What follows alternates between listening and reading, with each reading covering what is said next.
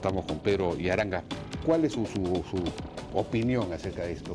¿Qué, busca Sendero con, eh, perdón, el Movadef con esta decisión de desistirse? Yo diría que esto es otro recodo en el camino de Abimael Guzmán, porque hay que recordar que Guzmán siempre solía hacer, porque él es jefatura del partido, de la revolución peruana, ¿no es cierto?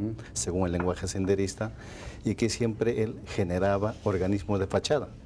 Y Movadef es otro organismo de fachada. Eso no hay que dejarse engañar. Lo otro es que la, pretensión de ellos era la encarnación del pensamiento Gonzalo. La encarnación, porque según el lenguaje senderista, dicen de que toda revolución siempre ha generado en el camino pensamientos guía, digamos el marxismo, leninismo, maoísmo. Y el, pensamiento Gonzalo nació en el Perú en sus tres etapas. Lo primero como, como pensamiento guía, después como pensamiento guía del presidente Gonzalo y finalmente como el pensamiento Gonzalo. Garantía de la revolución. Y ellos decían que para eso había que dar saltos por ríos de sangre. ¿Y los ríos de sangre qué son? Las matanzas, las emboscadas, los aniquilamientos selectivos. Además, lo que estos jóvenes están haciendo, viajando, dictando charlas, conferencias, eh, contactos, eso se llama agitación y propaganda. Lo que ha hecho Artemio en Campanilla y en Tocache anoche y esta madrugada, igual. O sea, él no ha hecho una acción armada, ha hecho agitación y propaganda. Y entonces, ¿qué estarían buscando al desistirse?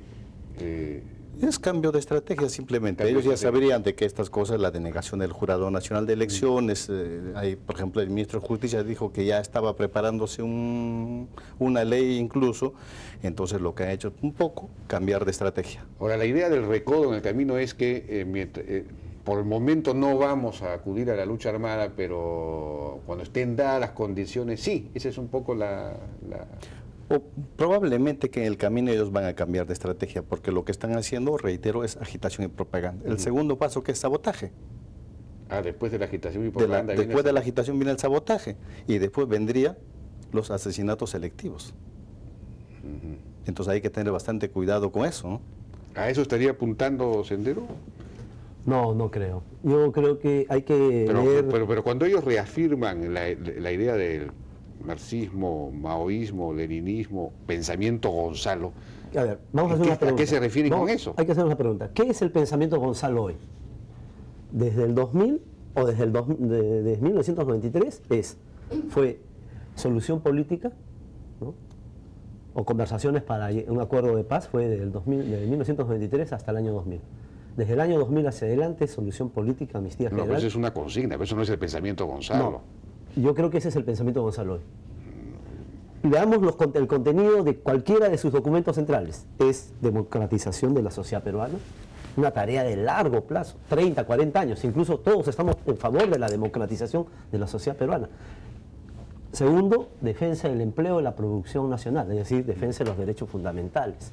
Tercero, una bandera de larga data, yo creo que incluso teleológica, porque es inviable, el caso de la amnistía general. ¿no? Y hay otros, una serie de lineamientos en el tema de la reconciliación nacional. Ellos también tienen toda una disquisición sobre la reconciliación nacional. Todas esas son tareas que no plantean al senderismo entrar nuevamente a la son, digamos, esos los que parece, parecen ser, digamos, eh, consignas o lineamientos. Eso se llama programas. O programas para conseguir la liberación de Abilmel Guzmán y de los senderistas que están en la cárcel para una vez todos libres, eventualmente reconstruir el partido y la acción eventualmente armada. Es decir, este, esa, es la, impresión que da, ¿no? Jaime, los lineamientos que tienen ellos son estos los que denominan más o menos. Claro, pero son, y hay otros. Son para conseguir la liberación de Guzmán, la amnistía. Uno de ellos, pero yo creo que es eso inviable, incluso ellos mismos son conscientes. Sí, pues, pero disfrazan el asunto con El asunto es, ¿cuál es el sentido de estos lineamientos? ¿Es para la guerra? No, ellos mismos lo han dicho en sus documentos. Cualquier posibilidad ¿no? de lucha armada dependerá de la evolución de la lucha de clases. O sea, lo dejan ah, al devenir histórico. Ellos son absolutamente claros. Quien ha leído los ah, documentos... bueno, pues por eso digo. Entonces, ahí Entonces el problema, por, eh, una de las razones por las cuales la población y en general todo el mundo está en desacuerdo con la inscripción de Moadef es que Sendero Luminoso no se arrepiente de lo que hizo. No y, no, y no renuncia a la lucha armada. Y lo segundo es, no renuncia a la lucha armada, porque Guzmán lo consideraba una ley universal. Por eso puede ser el pensamiento Gonzalo. Es el pensamiento, Pero hoy el pensamiento Gonzalo, el hecho mismo de querer participar... Está confundiendo niveles, creo. ¿ah? Jaime, lo que pasa es que el, el, pensamiento Gonzalo, o sea, hay que leer el primer programa, eso es el válido, ¿no es cierto?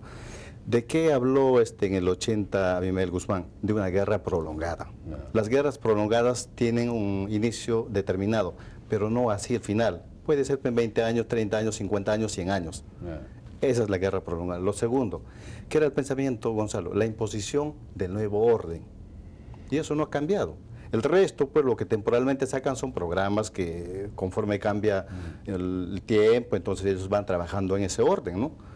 Entonces, un poco que por ahí no hay que dejarnos engañar. De acuerdo. Bueno, ya nos no tenemos más tiempo, pero en fin, esta es toda una discusión que hay que tener de todos modos para saber, estar alertas acerca de hacia dónde va este movimiento que fue eh, causante de una de las más grandes tragedias de nuestro país. Muchísimas gracias a Jaime Antesana y a Pedro Villaranga por su participación. Vamos a una pausa y regresamos.